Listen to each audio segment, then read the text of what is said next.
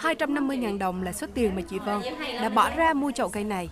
Cây chỉ cao hơn 30cm nhưng chi chít những quả táo. Chị mua vì nghĩ cây táo nhỏ nhưng ra được nhiều quả, quả là điều kỳ diệu. Nhưng khi mang về tới nhà, chị mới vỡ lẽ là mình đã bị lừa. Từng trái táo được đâm vào những thân cây và chúng được cấy chín bằng một loại keo. thấy nó, nó đẹp mà rất là nhiều người tới mua người mua hai cây ba cây nhiều người mua lắm rồi em cũng hiếu kỳ em vô em thấy là mà mấy người cá ngư thì nói sợ nó nó nó nó, nó, nó ghép nó dễ. Em cũng dòm cuốn dòm lá rồi em thấy nó nó gì em nghĩ là không có thể nào là là giả được. Cho em nói em quyết định nó thôi cứ mua về. Rồi chừng mua mua về xong rồi biết. Đây là một điểm bán cây cảnh lưu động trên đường Hùng Vương, thành phố Tuy Hòa, tỉnh Phú Yên. Dù mới sáng sớm nhưng rất nhiều người hiếu kỳ dừng lại xem trước loại cây triệu quả này.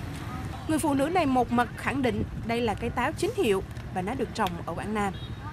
Nguồn gốc ở đâu em? ở Quảng Nam chị ạ. Sống đời đời luôn, hết đời nọ xong đời kia. Trừ chị chán, chị không thích chơi cây, chị chặt cây đi. Trước độ tươi của cây và quả, chẳng ai nghi ngờ. Có người mua 2 đến 3 chậu. Giá một chậu như thế này có giá từ 250 đến 500 ngàn đồng.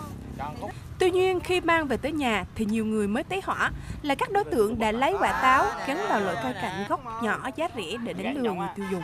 Cái cuốn, các các cây cái cuốn nhỏ nhỏ đây, như đây. cây bắt đầu đã dán vô? Cách đây không lâu tại thành phố Quy Nhơn, tỉnh Bình Định, nhiều người cũng đã bị lừa khi mua cây cảnh đểu.